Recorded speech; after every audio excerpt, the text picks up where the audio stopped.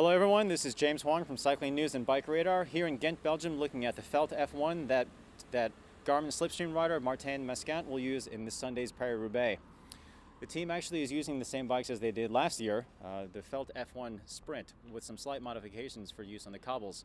First and foremost, in comparison to the bikes that they usually use on road stages, the F1 Sprint has a heavier layup, so uh, adds, a, adds a couple hundred grams, but uh, for Sunday's race, it's really more about getting to the finish line than it is uh, more a matter of who has the lightest bike. Uh, other modifications include different dropouts so that uh, the team has now longer chainstays for a little bit more stability.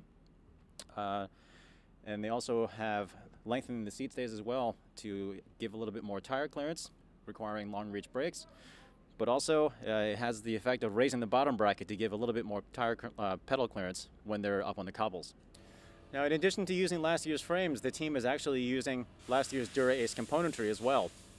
Again, Paris-Roubaix is not so much a matter of who has the lightest bike, but who can get to the finish line and survive. The team is preferring these right now because uh, the 7800 group uses a little bit more aluminum, so even though it's a little bit heavier, uh, it tends to survive crashes a little bit better, and crashes are inevitable in Paris-Roubaix. Now, new for this season, however, are some prototype Zipp 303 carbon rims. Historically, carbon rims are not exactly always the best thing to use for Paris-Roubaix, but Zipp feels it has figured out the formula with their new 303, which uses a wider profile and a stronger layup, so the team expects them to survive this Sunday quite well.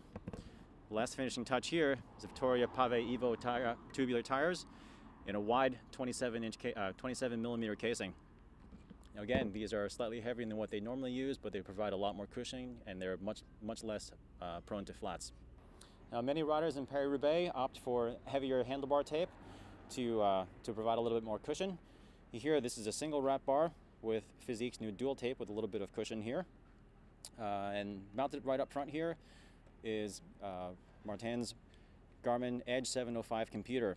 Now, in addition to prov providing all the usual functions, it's also going to let him know where all the key portions of cobbles are coming up, so he always knows where he is in the race and he's ready to go.